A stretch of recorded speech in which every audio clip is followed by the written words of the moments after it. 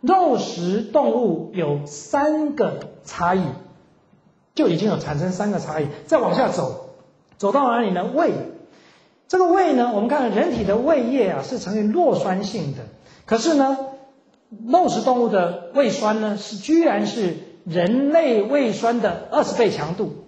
什么意思呢？因为它是用来消化肉品的，动物性蛋白不好消化，它必须要大量分泌胃酸来消化它。那你说，那跟我有什么关系呢？如果一个人喜欢吃肉，而且视肉如命的话呢，他一直吃肉，拼命吃，结果他的消化系统本身呢，分泌这个胃酸不足以怎么样提供他消化那么多的肉品的时候呢，他就被迫这个胃要怎么样分泌更多的胃酸来消化它。结果呢，肉虽然被消化了，可是胃也被磨平了。因此呢，很多胃溃疡，各位朋友不是因为紧张造成的，是因为吃肉吃太多造成的。再来，大家呢，胃酸过多哈，大家还注意到没有？平躺的时候哈，胃液可能会怎么逆流？现在有一种疾病呢，也是现代病哦，以前没有发生过的，食道灼伤，食道被胃液给灼伤。再来呢，喉咙会痛。很多人觉得说好像是空气污染了，我喉咙会痛哦，其实不是的，是胃液逆流。这种这种人呢，只要不吃肉，不吃肉，您试试看呢，大概就一两个礼拜不药而愈，就根本就不用吃药，他这个喉咙痛就好了，因为胃酸被控制住了。这个也是我们看到第二个特征不一样的，我们人类的胃不是用来消化肉的啊，再来。再往下走，肠子啊，肠子的这个长度呢，人类的这个小肠摊开来的长度是我们背脊的十二倍长度，很长，它塞进去非常非常的长。再来呢，动物这个肉食动物呢，它的小肠一摊开呢，肠一摊开呢，是它背脊的三倍长，就是它的肠子很短，而且呢，它还是直肠子。什么叫直肠子？就是没有皱褶的。为什么呢？因为他希望很快速的把吃进去的动物食品怎么样给排掉。他很聪明啊，他知道这个东西不是好东西啊。这个肉在肚子里面很腐烂呐，腐烂之后呢，就伤害我们它的这一个消化系统，所以大家赶快把它排掉。所以它在这个呃发展的过程当中呢，肠子很短 啊，适应它吃肉。可是我们人。拿这么长的肠子来吃肉，等于是把我们的消化系统怎么样？用我们消化系统的缺点来怎么样？来暴露出来，就暴露出我们消化系统的缺点。因此呢，我们为什么消化系统的疾病现在这么样的普遍？各位朋友，就是我们这一个机器怎么样用错了？我们拿这一个房车去怎么样当赛车用了？去当越野车在用了，所以它当然这个车子怎么样，寿命就减短。所以从特征上是这样来看，很多人说，啊，对，您这样一分析呢，我们大概也都了解了。可是好像吃素的人体力比较差哎，好像吃了素之后感觉没力气哎。各位朋友，这是假象。为什么叫假象呢？我们来看一下哦。我们就先举例吧，我们再来讲学理啊。运动家现身说法，十一届柏林奥运马拉松冠军选手是一位亚洲人，他是韩国的选手，叫孙基珍。这位先生呢，他是终身的素食者。如果我们觉得吃素没有体力的话，那为什么他可以跑马拉松呢？那这位先生还活到了九十岁高龄。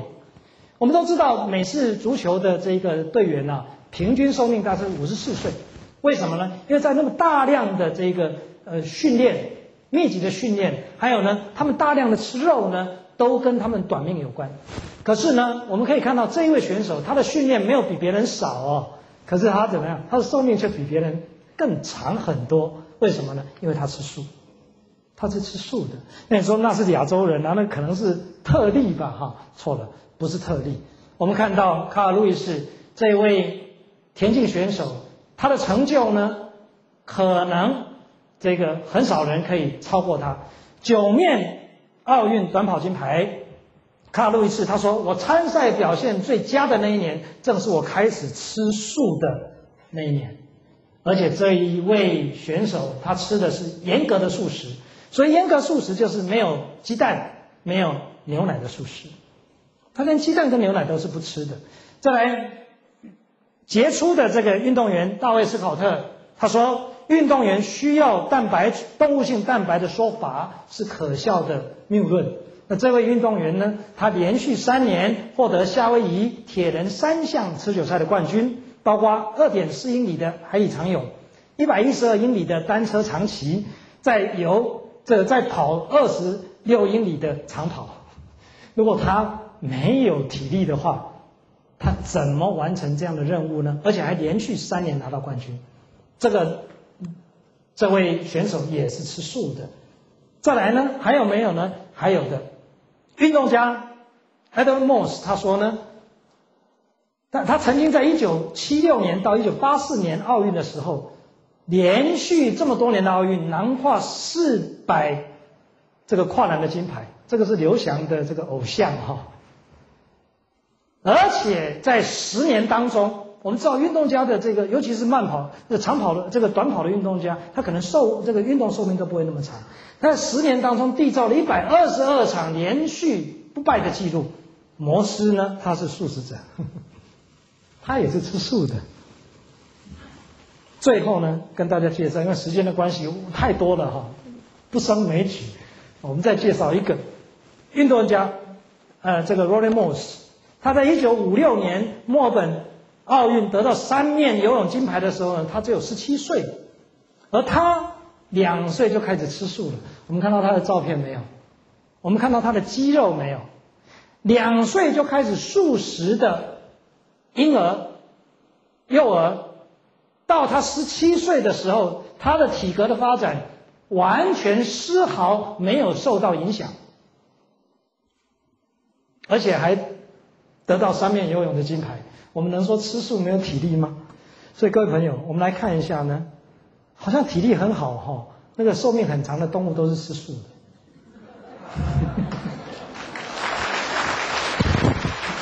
大象是吃素的，牛是吃素的，马是吃素的。那我们怎么能说吃素的人体力不好呢？各位朋友，那您说，那我明明吃素就比较没有力气呀？那您告诉我这是什么原因好不好？各位朋友，这个是因为我们身体被骗了，肉品里面呢。在消化代谢的过程当中，会产生一种兴奋剂，就是动性蛋白代谢的过程当中，它产生的这个兴奋剂呢，会麻痹我们的神经，让我们的神经产生满足感。所以吃肉的时候，你会觉得很满足感，有没有？并不是因为那个肉本身好吃，而是因为它消化之后所带给我们的那一种化学物质，它让我们成瘾，它让我们成瘾，就像抽抽烟一样，它让我们成瘾。所以在您在肌肉的过程当中，你会觉得很难受，特别难受，就是那个东西在作怪，那个东西在作怪，它会让您呢觉得不吃肉真是的很难受，并不是因为您真的很饿。当然还有一个重点呢，就是呢，肉品啊，因为它的消化比较不好消化，所以呢，植物它食品它容易消化，消化之后，当然您也会觉得怎么样？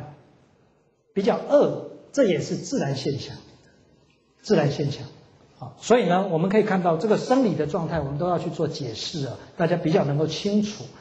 所以呢，告诉大家，所有的人都适合吃素，为什么呢？我们举一个人来做代表，这这个这位女士呢，今年一百一十二岁了，她是新加坡的国宝，叫做许哲。